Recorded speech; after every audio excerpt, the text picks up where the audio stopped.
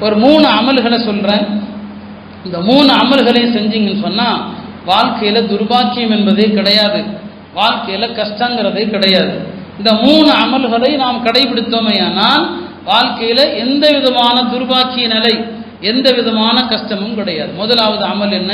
திலாவத்து குரான். குரான் ஓதுங்க.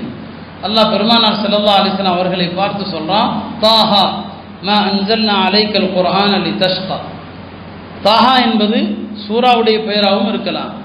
ரசூல் ஸல்லல்லாஹு அலைஹி பெயராகவும் இருக்கலாம். அப்படியும் ஒரு கருத்து இருக்கிறது. சொல்கிறான் அல்லா மா அஞ்சல் அலைக்கல் குரான் இந்த குரானை உங்களுக்கு நாம் அருளவில்லை. நீ தஷ்கா நீங்கள் கஷ்டப்படுவதற்காக. கஷ்டத்துக்காக குரான் வரல. அப்ப குரான் ஓதினால் கஷ்டங்கள் நீங்கும். குரான் ஓதினால் துர்பாக்கிய நிலை நீங்கும்.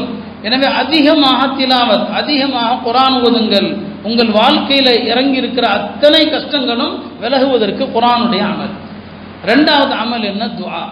ரெண்டாவது அமல் துவா. அதிகமாக துவா செய்யுங்க. அது கபூல் ஆகிறத பற்றி கவலைப்படாதீங்க. ஏற்றுக்கொள்ளப்படுறதை பற்றி கவலைப்படாதீங்க. துவா செய்யுங்க. உமர் ரதியெல்லாம் அவங்க சொல்லுவாங்க என்னுடைய சிந்தனை எல்லாம் துவா செய்வதில் மட்டும்தான் இருக்கிறதை தவிர அது ஒப்புக்கொள்ளப்படுமா என்பதை பற்றி நான் கவலைப்பட மாட்டேன். துவா செஞ்சால் என்ன நீங்குகிறது? துர்பாக்கியம் கஷ்ட நிலை நீங்குகிறது. யார் சொன்னாங்க? இப்ராஹிம் இஸ்லாம் சொன்னாங்க வஅதுஉ ரப்பி அசா அல்லா அகூன பிதுஆஇ ரப்பி ஷகிய்யா இப்ராஹிம் அலைஹிஸ்ஸலாம் சொன்னாங்க என்னுடைய எப்படத்தில் நான் துவா செய்வேன். இந்த துவாவின் காரணமாக என்னுடைய ரப்பு என்னை துர்பாக்கியவானாக ஆக்க மாட்டான்னு சொன்னான். அப்போ துவாங்கிற அமல் உங்களை ஷகாவத் என்கிற துர்பாக்கிய நிலை உலகத்திலும் மறுமையிலும் துர்பாக்கிய நிலையிலிருந்து உங்களை காப்பாத்துது. அதனால அதிகமாக துவா செய்யுங்க. கபூல் ஆகிறத பற்றி கவலைப்படக்கூடாது. சந்தர்ப்பம் கிடைக்கும் போதெல்லாம் அல்லாட்ட கேட்டுக்கிட்டே இருங்க அல்லாட்ட துவா செஞ்சுட்டே இருங்க. துவா செய்கிற உள்ளங்களுக்கு கஷ்டம் என்பது கிடையாது. மூணாவது அமல் உங்களுடைய வாழ்க்கையில் கஷ்டங்கள் இல்லாமல் துர்பாக்கி இல்லாமல் மூணாவது ஒரு அமல் இருக்குதுன்னா உங்களுடைய தாய் தந்தையருக்கான பணிவிடை. ஈசா அலைஹிஸ்ஸலாம் சொன்னாங்க ஒபர்ரம் பி வாலிதத்தி வலம் யஜ்அல்னி ஜப்பாரன் ஷகியா. அல்லாஹ் என்னுடைய தாயார் மரியம் அலைஹிஸ்ஸலாம் என்னுடைய தாயாருக்கு நான் கட்டுப்பட்டு நடக்கிற நல்ல பிள்ளையாக அல்லாஹ் என்னை ஆக்கியிருக்கிறான். வலம் யஜ்அல்னி ஜப்பாரன். என்னை கடுகடுத்த குணமுடையவனாக ஆக்கல்ல.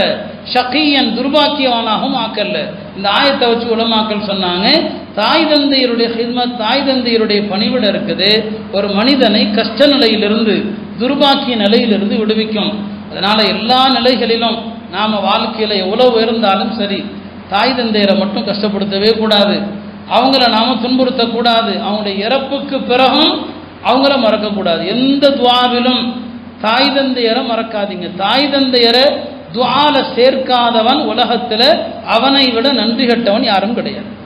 தன்னுடைய துவாவில் தன்னுடைய பெற்றோருக்கு இடமளிக்காதவனை விட நன்றி கட்டவன் யாரும் கிடையாது. அதனால ஒவ்வொரு துவாவிலும் உங்களுடைய தாய் தந்தையரை சேர்த்து கொள்ளுங்க. அவங்க ஹயாத்தா இருந்தாலும் சரி அவங்க இறந்து விட்டு இருந்தாலும் சரி இறந்து விட்டு இருந்தால் நிறைய கடமை இருக்கு. அவங்களுடைய கபரை போய் தியாரத்தை செய்யணும். அவங்களுக்காக நன்மைகளை சேர்ப்பிக்கணும். அவங்களுக்காக சதகாத்துகள் செய்யணும். ஹயாத்தா இருந்தால் அவங்களுடைய பணிவிட நான் அடிக்கடி சொல்றது உண்டு தான் யாருக்கு வயதான தாய் தந்தையர் இருக்கிறாங்களோ இரவு நேரத்தில் அவங்களுடைய பாதங்களை பிடிங்கன்னு சொல்லுவோம் இரவு நேரத்தில் கொஞ்ச நேரமாவது அவங்க காலை பிடிச்சி விடுங்க இமாம். ஷாஃபி ரஹமத்துல்லா அலையை பற்றி நான் அடிக்கடி சொல்றது உண்டு. இரவுல தன்னுடைய தாயாருடைய பாதங்களை பிடிச்சி விடுவாங்க. இப்போ அவங்களுடைய தாயார் கேட்பாங்க மகனே உலகமெல்லாம் ஒன்றை பார்க்குது மக்கள் எல்லாம் ஒன்றை பார்த்துட்டு இருக்கிறாங்க நீ என் காலை பிடிக்கிறியப்பான்னு சொல்லி. அவங்க சொன்னாங்க உலகமே என் பின்னால் நின்னாலும் உங்கள் காலில் தான் ஏன் சொர்க்கம் இருக்குது? உங்கள் காலை பிடிச்சாதான் எனக்கு சொர்க்கம் இருக்குது. அதனால நான் உங்கள் காலை பிடிக்கிறேன்னு சொல்லுவாங்க. பெரிய பெரிய இமாம்கள் எல்லாம் தங்களுடைய தாய்மார்களுக்கு தந்தையருக்கு செஞ்ச ஹிதுமத்துகளை பார்த்தோம்னா நம்மெல்லாம் ஒன்றுமே இல்லை. இன்னைக்கு நாம் கொஞ்சம் படிச்சுட்டு கொஞ்சம் ஆலிமாயிட்டா நம்ம அத்தா அம்மாவை லேசாக நினைக்கிறோம். கொஞ்சம் படித்து வியாபாரி முதலாளி ஆகிட்டா தாய் தந்தையரை அற்பமாக நினைக்கிறோம். அதனால் எந்த நிலையிலும் அவர்களை மறக்காதீர்கள். அவங்களுக்காக வேண்டி துவா செய்யுங்கள். இதுவெல்லாம் ஈதுடைய நாளில் நாம் நம்முடைய மனதில் ஏந்தி செல்ல வேண்டிய சில சிந்தனைகளை வச்சிருக்கிறேன்.